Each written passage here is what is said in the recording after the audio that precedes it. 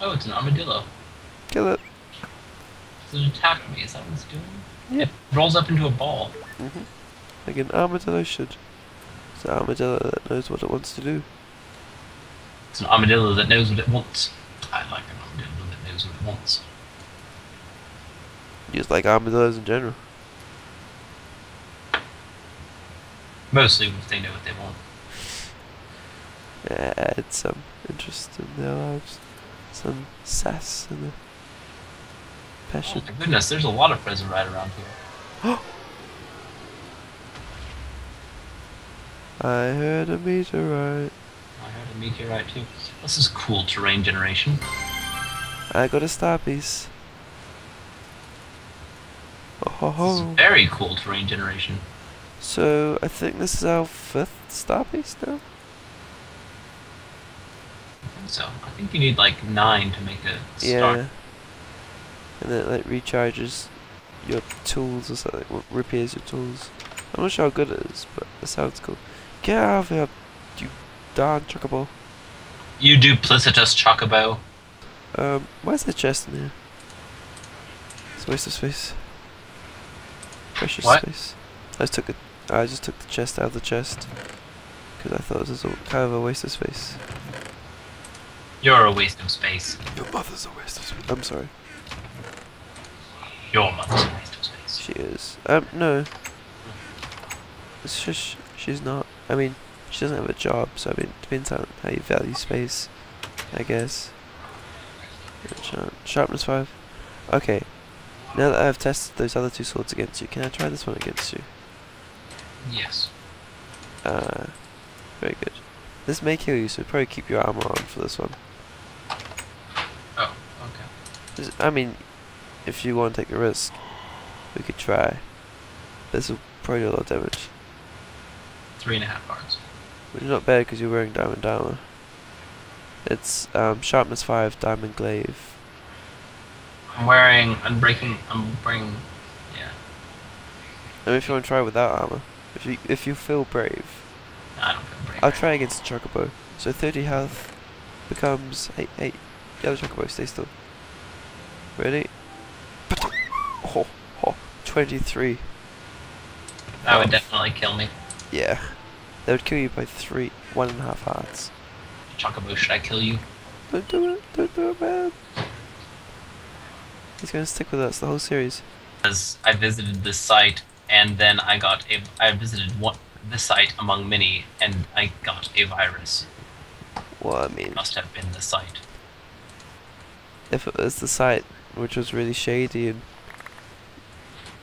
then maybe it was. Yeah, it's- I don't know.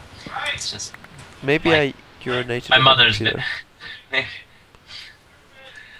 My, I feel like my mother often has those sorts of thoughts. Like, just says things like that, like, "Oh, it must have been something rather unrelated to the virus happening."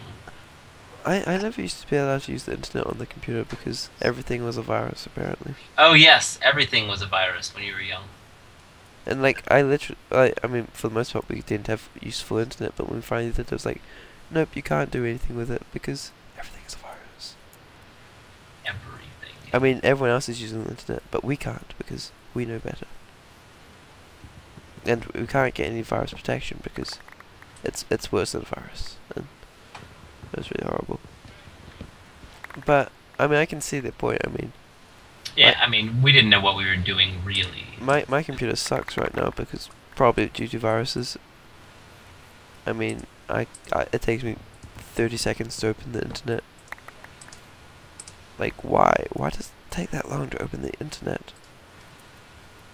It's not that the internet's slow, my computer's slow. I mean, both those things. Once it's open, it works. It's just opening it in the first place. I'm gonna shoot a bird. You go shoot that bird. Shoot that. Shoot that bird. Oh, I shoot got it. that bird. Shoot killed that it. bird. Oh, I saw its like feathers fall to the ground. It was amazing. So yesterday, right, I was watching some YouTube videos Ah, yes. about um, the art assignment. Have I told you about the art assignment yet? I don't believe so. Okay. Well, John Green, my my favorite hero of them all, um, is Iraq. what? I prefer Hank. Oh yeah. Uh, but anyways, his wife. I like Hank too. He's a wonderful man. Um, but his wife, um, Sarah, or AKA the Yeti, um, had him and his wife um, both are be are doing this PBS um, show called The Art Assignment, where uh, they interview um, artists, rather obscure, um, who have who are doing something interesting and unique. Um, and it's not always easy. It's not always you don't always think of it as traditional art. It's not traditional art. Um, it's sort of uh, mixing modern, mixing like low class and high class, and um, going out into the world and doing interesting things. Um, and uh, so, for ex- for instance, they um, and they give us they give an art assignment. They assign something that you should do, um, such as the first one was meet in the middle, where you go out and you um, choose and you pick someone who you want to meet um, out in the world, and you and you ch- choose to meet at the exact geographical location, uh, the exact geographical middle between your two houses, or your two places where you were, whether you were at work or something. Um, and you just go and maybe ha- and do something, whether you go get some food or uh, something like that. My goodness, there's lots of things down there. Kill them. So have you met someone recently? No, I haven't. I haven't done any of the things, um, but I just think they're extremely interesting, um, and I want to do some of them. Like one, the uh, another one was to um, get oh getting. Did I wither you? Uh, oh, that might have been you that with me. Yes, that's Okay, right. Walked in front of me. Sorry. Um, is to choose an object that is interesting, put it in a public place, and observe what pe- how people interact with it. Interesting. Yeah, just that sort of interesting thing um, that I just find really.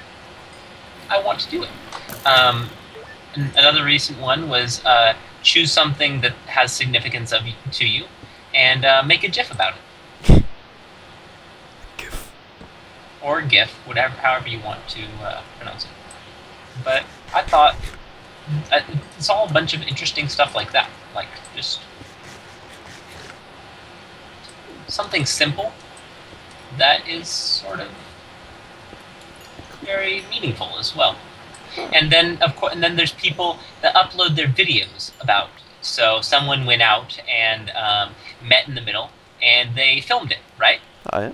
So they um, just were like, "Oh, well, we're here," and it's it's awesome because there's people all over the world doing this. Mm-hmm. So um, there's people in Spain, in Italy, in uh, Norway. Lots of people in uh, in in um, Amsterdam. Lots of people in England, um, in Germany, uh, in I think there was someone in um, Thailand. Um, it was all very, very.